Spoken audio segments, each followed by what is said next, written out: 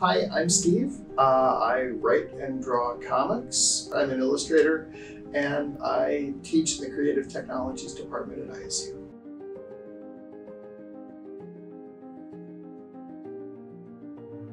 In conjunction with like the, the DAS lecture, it's going to make a lot more sense. Um, and it's going to be a better learning thing because then you can zoom in on everybody's work and you can kind of reverse engineer. Oh, I like that thing that you know Skylar did here or Daniel did there or whatever. Um, and or Wyatt or Tanner or Aiden. Yeah, let's or go! Kyle, or like, uh, My name is Zachary. I am a former uh, student at Illinois State University. Today, I'm an auditor in Steve's class. I work very closely with Steve. I've worked very closely with Steve after the past two years. He's assisted me in developing my digital and traditional portfolio for art in my career.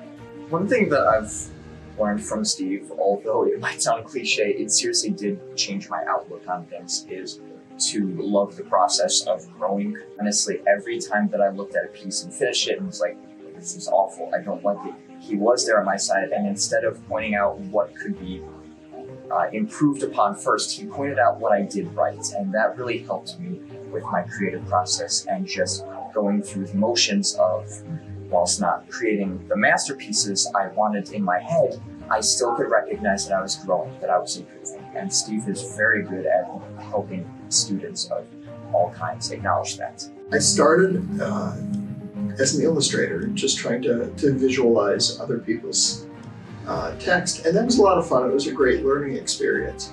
Uh, but I also kind of came to see some of my own shortcomings. I have aphantasia, and aphantasia is, um, I've heard it described as your mind's eye is blind.